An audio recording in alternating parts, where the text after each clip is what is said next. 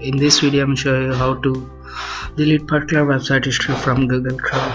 We all know how to delete history from Chrome just by navigating to the settings of the Chrome. You can see the history over here. Click on clear browsing data.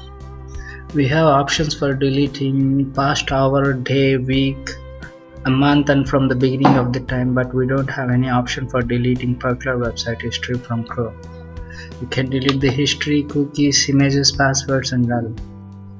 Let me show you how to delete particular website history from chrome. After going to history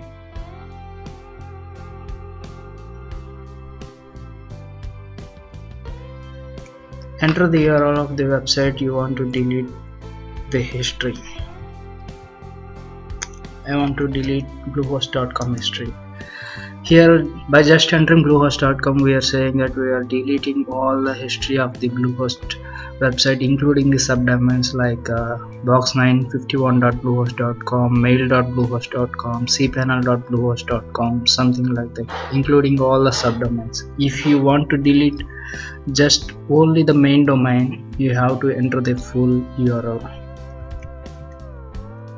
www.bluehost.com I just have one result for that but I want to delete entire including the subdomains history.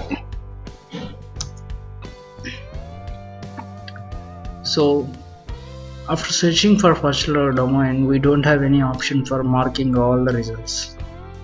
So what I do is select the first one scroll down hold the shift key of your keyboard select the last one so that we select all the results in this page. Now go to the top remove selected items. Tada! We removed all the history of particular website from google chrome. This is how we have to do. When deleting particular website history from chrome i will show you for another website. I want to delete for google.com here google.com means uh, all the subdomains including mail.google.com inbox.google.com something like that. plus.google.com so I have got the search results for google.com if you want just for main domain enter www.google.com the similar procedure. Select the first one go to the bottom hold the shift key select the last one and hit remove selected items. Okay. If you want to remove for all the subdomains for google.com just give google.com select the first one scroll down hold the shift key select the last one go to the top click on remove selected items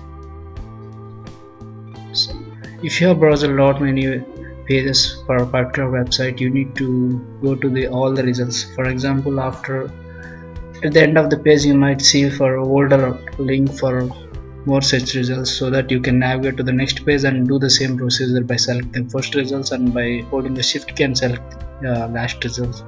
And then finally hit remove selected item that's it from my end. Thanks for watching. Please do subscribe to our channel for more technical updates 拜拜。